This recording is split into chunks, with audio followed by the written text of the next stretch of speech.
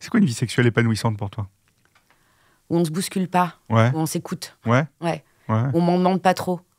Ouais, c'est ça. Ouais, où On m'en demande pas trop, ouais. Parce que les hommes ont tendance à projeter beaucoup de choses. euh, Comme sur- dans les films. Comme dans les films. Et c'est pas forcément euh, ce que j'ai envie de faire euh, tous les jours. Il peut y avoir des jours plus cool que d'autres. Il peut y avoir des jours où j'ai pas envie du tout.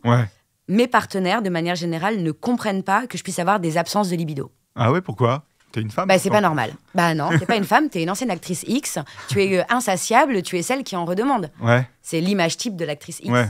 Donc c'est impossible que tes soucis dans la vie, euh, un problème de santé, un problème avec tes parents, un problème de travail, n'importe quoi, euh, bloque ta libido. Ça, ça arrive à la voisine, mais pas à toi. Ouais. C'est que t'as pas envie de moi, c'est que le problème c'est moi, Ouais, c'est que tu, tu, tu veux pas me donner à moi ce que t'as donné à tous les autres.